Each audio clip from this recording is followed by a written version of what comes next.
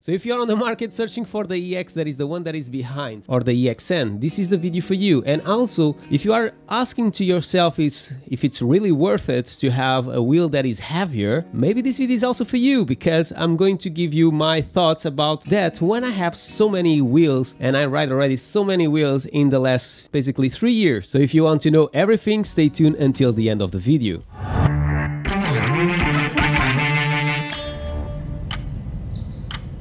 Hi everyone, Marcos here from MADpack and if you love EUCs, PVs and everything that have a E of electricity, this is the place for you.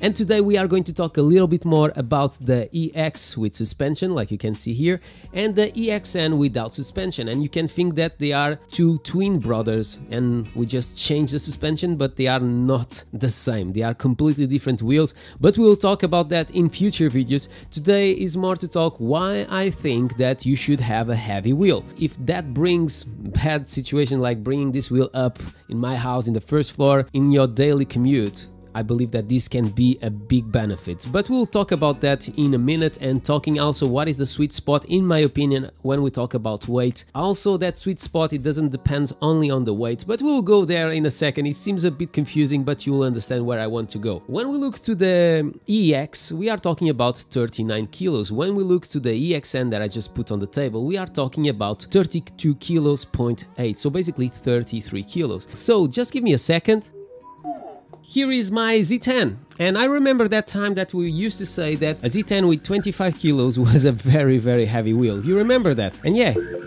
it still works, I still ride with it, and I still love it. But when we talk about the Z10, even if I love that wheel, that wheel was bringing a lot of caviars with it. That was really special and continued to be very special to ride, but in the same time you are constantly fighting with it. And we'll go there in a second because you can bring some of those stuff with the EX, but not with the EXN. But we'll go there in a second once again like I said. And I want to also talk about the evolution of the MSX and all the wheels and everything that's been happening in the last years. So if you look to the MSX, in that time if you was between the 84 volts or the 100 volts, you was between 23 to 24 kilos. When you look to the MSP, that I also have it, it was 24 kilos. When you go to the RS, we was talking about 26 kilos and a half. And when you look to the EXN, even if it's not the continuation of those wheels, I think it's the su successor of the RS, in my opinion, is 32.8 kilos. Having a heavier wheel it's something that is going to bring a lot of benefits in my honest opinion. So if we go back in time and if we look for example to the V11 to my videos and when I done the video about the V11 that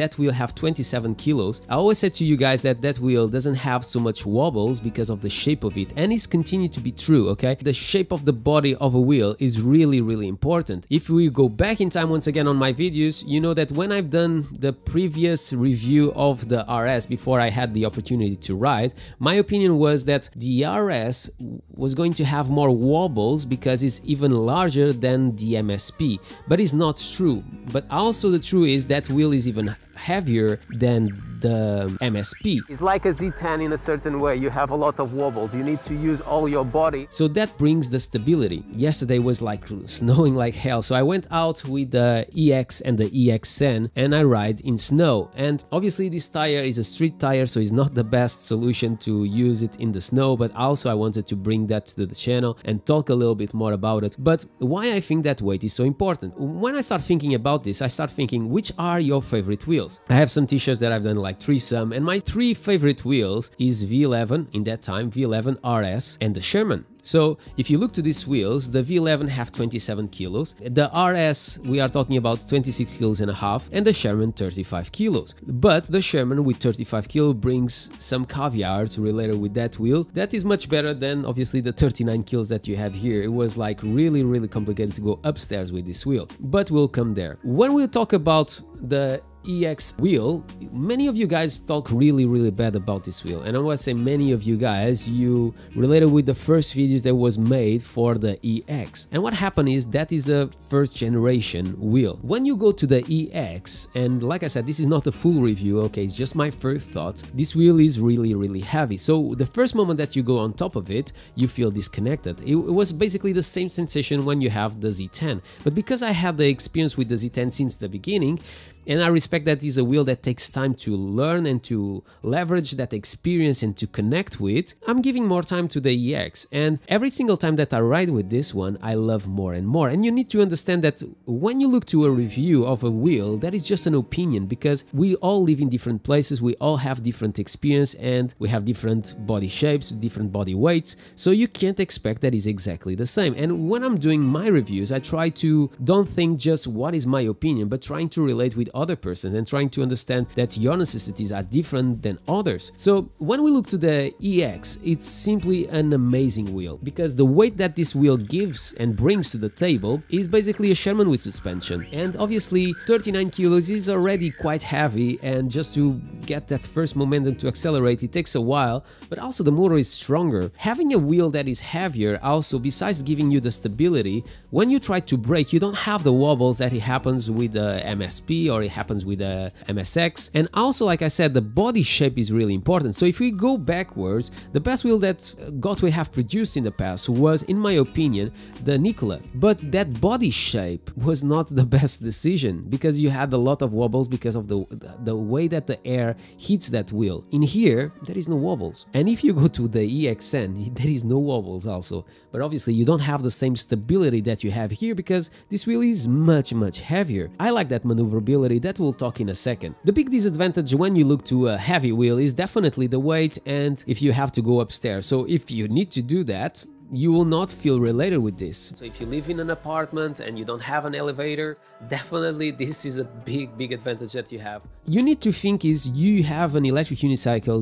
to basically ride around, yeah? When you have a car, you don't look to the weight of that car. When you have a motorbike, you don't look to the weight of the motorbike because you are not taking home. If you want more performance, you can't really look to the weight of your wheel. I understand if you have to go upstairs, like I said, in that case, yes, it makes all the sense in the world, but but the weight is essential to bring stability and in the same time make these wheels safer. And to the wheels getting safer, you need bigger batteries. And I think that the 2700 watt hours that now you can see on the EX on the EXN is the future. Having a bigger battery, you are safer also when we talk about cutoffs. I think that this is the new standard. The new standard has been like 100 volts, 1800 watt hours, and now I believe that for 2021 the new standard will be 2000 1700 watt hours. Even if I think that this wheel is maybe not the wheel for me and I will explain in another video, I think that the EX is simply the savior of Gotway.